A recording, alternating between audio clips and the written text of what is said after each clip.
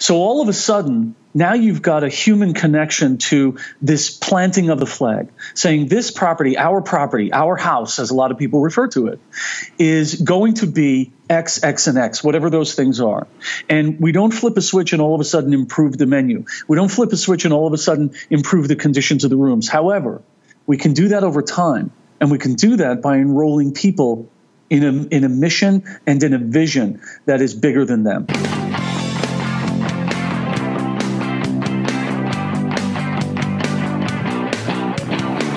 This is Hospitality One to One Conversations on the Industry. Here's your host, Chris Bennis. Thanks for joining us on the Hospitality One to One podcast. He's a mentor, a coach, a leader. John Klymshyn, otherwise known as Coach K, became a master salesman in 2001. Once he cracked the code to storytelling through sales, he quickly became known as the Executive Whisperer, traveling around the globe to share his secrets through unconventional training and team building workshops. He's helped clients achieve sales valued in the hundreds of millions and sales teams achieve annual revenues in the billions. And now, John Klymshyn. John, thanks for joining us. It's my pleasure, Chris. Thank you for inviting me. Hey, no problem. No problem. Let's just get right into it, if we will, because there's like a, a, lot to go over. You know, okay. so as you know, we like to focus on the employer brand and, of course, bettering the candidate experience. What have you noticed in your training uh, that a, a company um, that would help a company build a better employer brand, if you will? Well, the employer brand is reflected in who you have walking around, uh, either holding that business card or having an email address with that indicates that you work there. The the people really are the brand because the people create the experience. The people interact with the customers, the clients, the visitors, the guests, whatever they may be. When we're talking about hotels in particular, because of the fact that they they are flagged and some are owned by management companies, some are owned by the actual brand that's on the front of the hotel it really is a personal and local experience. And I think that the key is, starts with how you select your new employees. The way that you impact the people that are there is by adding people to the team that enhance the the character, the tone, and the ability to accomplish tasks of the current team. And interviewing is critical. Why? Well, because I believe that the people that, that walk in and out of the building every day to work for the brand, again, whether it's a hotel or any other kind of organization, but we'll focus on hotels. You know, the, the fascinating thing to me over the years that I've worked with different hotels of all different sizes and, and management companies is that the hotel business is a 24 hour business. It was pointed out to me in one of my visits to a property that there are no locks on the front door. So, who can we attract? How do we identify the best talent that's going to be able to perform in that kind of environment where they could potentially be on call at any time? So I think it really boils down to us thinking about when I say us, I think about I'm talking about the hiring authority and the people involved in hiring and selecting. I think it boils down to how we go about interviewing.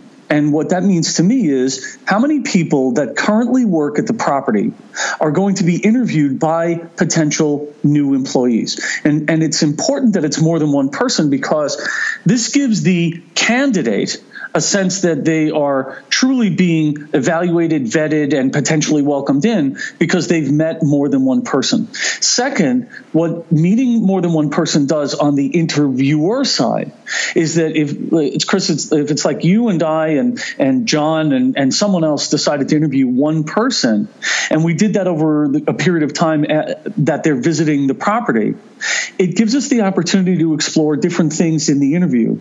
And one of the keys for me is that there should be one question, at, at, a minimum, one question, that every person that meets the potential candidate asks so that we can get multiple answers from the candidate and we can compare notes later. It's really critical that in order to support the brand that we want to create, the image that we want out in the community or to our customers, wherever they may be coming from, it real, really boils down to the people that we employ. Now, you've given a number of great tips, suggestions for helping to improve your employer brand or, I guess, establish an employer brand. But let's, mm. let's look at this from a hotel, large, small, branded, independent, does not matter. This okay. hotel has a less than desirable employer brand. They may have a number of things they have to do to fix this, but let's start from square one. If you could whittle it down to one I guess the first most important step any hotel can take to write their employer brand, what would that be?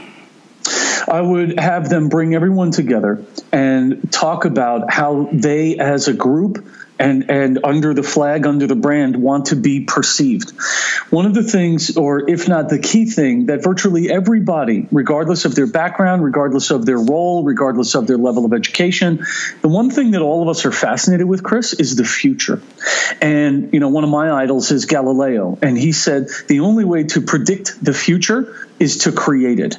And we live in a world where people are, I believe, tapping into their creativity more and more. And if you can, with the current people that you have, if you can bring them into a room, even if it's a stand up meeting, and challenge them to think about how you, they, how they would like the brand that they operate under to be perceived again by the community or by the clients or or even by previous guests what that does is it starts to create a common language among everyone that is walking around in the property. And it's about the future. Whatever has happened, whatever has damaged our brand in the past is there. We can't change that. What we can do is we can create a brand new version. We can create a brand new experience, no pun intended, using the word brand there, uh, by, by getting people to think, okay, if you were to hear that our hotel was having issues, what would you want the person sitting next to them at the coffee shop to say? Well, we would want them to say something like, you know, that's funny because I just had lunch there and it really looks like the people love working there. I, I, I just went by there and, and, I was in a meeting and man, you know, it, it, it, was it was in much better condition than I had heard. So it really is, it, to me, again, it goes back to the people, but in order to, to improve the impression of the brand or the perception of the brand.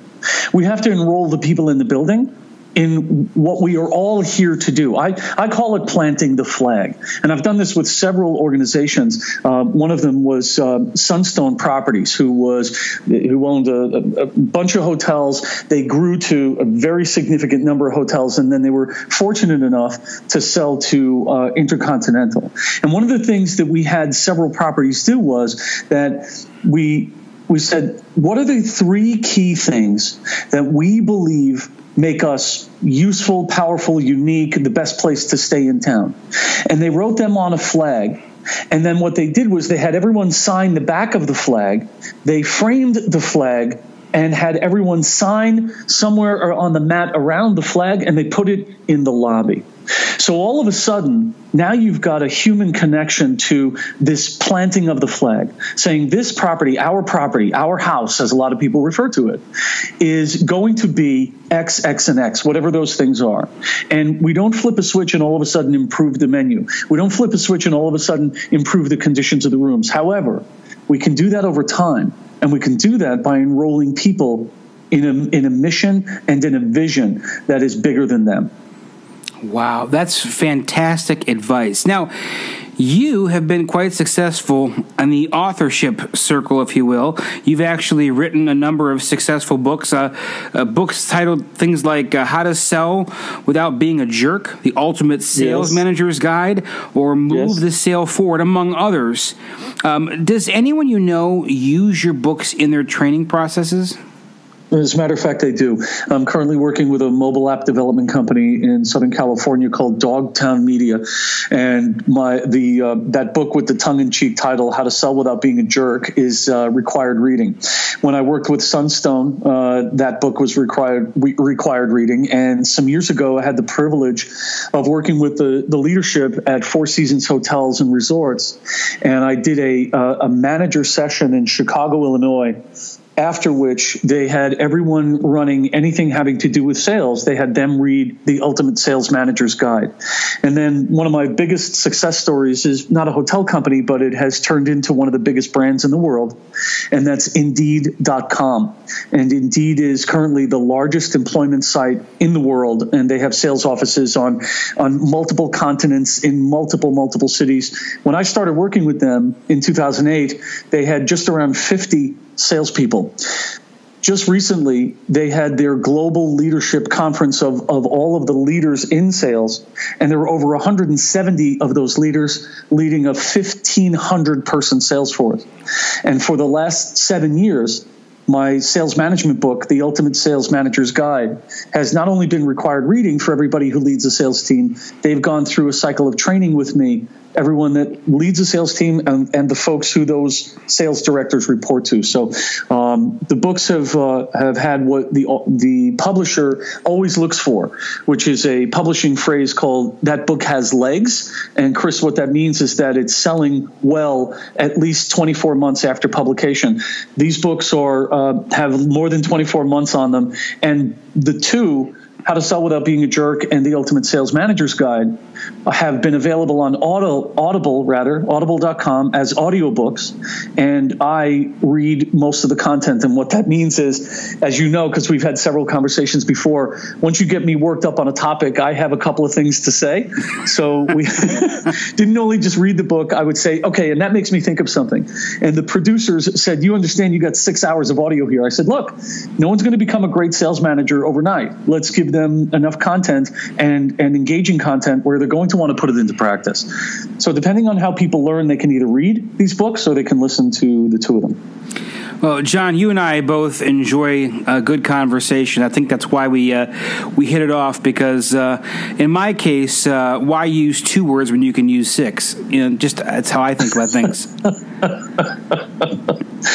yes, you're never at a shortage for words. No, no, I was. Told, There's no such thing as Chris was speechless. No, no. I, I was told as a as a youngster, Reader's Digest version, Reader's Digest version.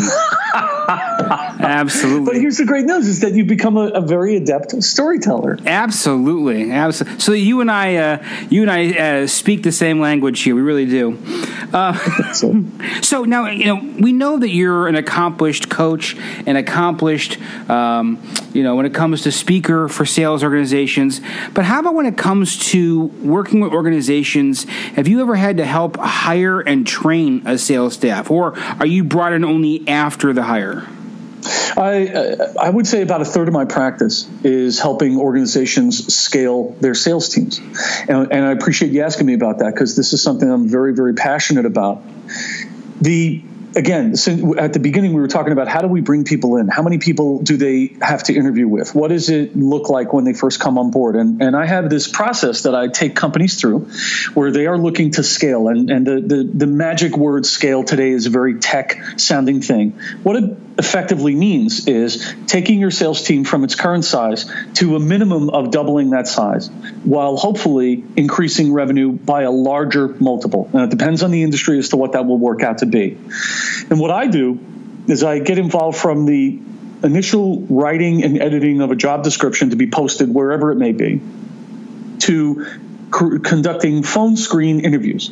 I'm a big fan of a 30 minute phone screen interview because it is interviewing over the phone is extremely difficult. And if I'm going to hire salespeople, I want to know that they can hang, that they can step up, that they can perform, whether it's over the phone or face to face in front of groups at a trade show. And one of the hardest is the phone because the thing about the phone is that you don't get to make eye contact with me. You cannot see my expressions. You can't see if I'm smiling or if I'm looking away. So you have the responsibility immediately to not only capture my attention, but to keep it. Those folks that do, and it's not everybody, those folks that do, then I bring them in for a face to face interview and I have them interview with the, the folks at the organization before I meet them face to face. Because those folks have to make sure that these people have, are a cultural fit, that they have the right personality for the role, that they are adept enough to either learn the industry or speak intelligently about the industry now. And those are key things. Are they a cultural fit? Do they think they will, this person will kind of work in with the aesthete, the feel, who we are? And then second, do they have the personality for the role? Then what I do is I, I have my clients adopt a nine day onboarding process. It looks different for everybody, but Chris, here's the thing. I've found over the many years that I've been doing this that the first nine days of employment, especially for a salesperson, are critical to making sure that that person has tenure, that they stay a minimum of 14 months. Why? Because it costs a fortune to train people. It is a, an, an, amazing distraction from the work at hand. We have to get them up to speed technologically. We have to get them to fit into the culture, and then we need to get them to produce. And guess what? It's probably unrealistic to expect any kind of production out of a salesperson earlier than 90 days. I would love to see them close a deal in the first 30. I'm not so hot about that. It's important that they have a pipeline in the second 30 and they must close something. I don't care how small. They have to close something in, in, in before 89 days. Because if they don't, guess what? We all made a mistake. They're not for the role. So my involvement, yes, it starts prior to hiring, it's involved in hiring, and it's involved in onboarding. And then many companies ask me to work with their salespeople once they're on board for a 90 day period, get them up and running, get them focused on my approach to planning and manage, managing their activities during the day, how they approach the phone, what questions they ask, and that's when we pull out the curriculum. And the curriculum is for salespeople is move the sale forward and how to sell without being a jerk. And the two of them together really equip a salesperson. They don't assume, there's no assumption that a salesperson being hired needs to learn everything. What we need to do, our responsibility as an employer, is to elevate their skills, elevate their, their vision of what they're capable of so that they can enjoy the work, they can outperform what our expectations were. And oh, by the way, we get a return on investment. So, based on the first part of your answer, you had said that phone screens are not necessarily the most uh, objective way, if you will, to find out about a particular candidate, sales candidate, for example. Uh, however, we know they're a necessary evil. So, given the fact that you know we may have someone listening today who is up for a phone interview, what tips can you offer them to give them the best chance, especially because they can't show body language, they can't give eye mm. contact? What do you right. suggest? Well, if I'm going to be interviewed, and I know that it's going to be a phone interview. I'm going to follow the first rule of, of success for any meeting, and it does, doesn't matter what the meeting's about. If it's an interview, if it's a pitch, if it's a client meeting, if it's a uh, dealing with your boss, it doesn't matter. If you're going to a meeting, guess what? The first rule of success is prepare. If you're going to interview with my property, maybe you want to drive by and get a sense of where it's located. Maybe you want to walk into the lobby, look at the leaderboard, find out what kind of events we have going on there. Maybe you want to just get a sense of availability. And even you, could, uh, you and I know this, Chris. I, we can walk into a hotel, walk by the registration desk, walk into the main lobby, and in about 90 seconds get a sense as to the overall tone there. You can hear the people behind the front desk that are that are handling uh, uh, checking in and checking out whether or not hospitality is like woven into who these folks are. The other way to prepare is to absolutely have two questions prepared in advance in case your interviewer asks, What questions do you have for me? The last thing you want is for them to ask you that and you don't have any. So if you're going to be interviewed, you prepare. What does that mean? Well, it means that you make sure you're not going to be anywhere where your dog is going to be barking even though you we all know that that dogs at work are a totally different thing than they are than they used to be having a dog barking, having cars slamming doors, having weird noises in the background during your interview are not good for you. So get to a controlled environment, make sure you have a great connection with your cell phone, and be prepared. Next thing is listen well, have pen and paper to take notes with. I'm not a fan of me interviewing someone and they're taking notes on their laptop because what I hear is I'm sorry, that's distracting. This is a focused experience, and you want to be relaxed, you want to be undistracted, you want to be open, and you want to be authentic. Relaxed, undistracted, open, and authentic. So, being interviewed is very difficult keep in mind that you're not selling yourself, you're selling the service you provide. Now, since you have so much sales experience, without going into great detail, because obviously that's what your books and your training are for, from a, I guess a 50,000 foot overview, everyone knows the difference between a good salesperson and a bad salesperson. No matter what industry, you know the difference between the two. Yeah. All right. What's less able to be discerned is between a good salesperson and a great salesperson. What mm. do great salespeople, what's the one attribute they tend to all have? They listen. They listen. They listen. And I don't mean they sit nodding, waiting for an opportunity to speak. I mean that great salespeople, when you're in the room with them, regardless of the conditions, you get this innate sense that they have all day. They are not on their way somewhere else. They're not looking to hurry up and close the deal. And no matter what it is that the prospect wants to talk about, the salesperson has all day to listen to it. And great salespeople truly listen. They wait a half a beat after the person talking has completed their statement, and then they ask an insightful, intuitive question but it all goes back to that one thing, Chris. You know, uh, I've said before the most difficult thing for an adult human to do is to completely focus their attention on someone else. That makes sense. That makes complete sense. Now, if we can, let's focus on you for a moment if we can here. Well, if you insist. If I insist. Makes me I'm very uncomfortable, but uh, okay. No, okay, but you twisted my arm. So how you've been a successful author you've done uh, you've got a great uh, very successful podcast um, how did you get to this point where what made you get into this field when it comes to the, the sales coaching the podcast how did you get to where you are today discipline I, I, would love to think that I'm uh, smarter than the average bear. However, as soon as I start convincing myself of that, I turn the corner and I have a conversation with someone who is nine times smarter than I am. I would love to think that it is an issue of talent. However, there's an old saying that says, you know, there there are millions of talented people who cannot find any work. Um, uh, I would love to think that it's been the connections and the relationships, but it's none of those. It is the fact that I sat down many years ago, and I examined how consistently performing people achieved consistent performance. And I keep boiling it down, reducing it down, whittling it down, and it all, the kernel at the center of all of it is discipline. And my definition of discipline is following a regular, proven path. We can stand around and we can talk about what it means to go out and do business development, or I can pick up the phone, or I can go to an event and I can get busy doing it. And when I started my practice some years ago, I dedicated specific time, large chunks of time out of the day, and said, This is the only activity I will engage in for this entire period of time. And oh, by the way, I will do it consistently again and again and again.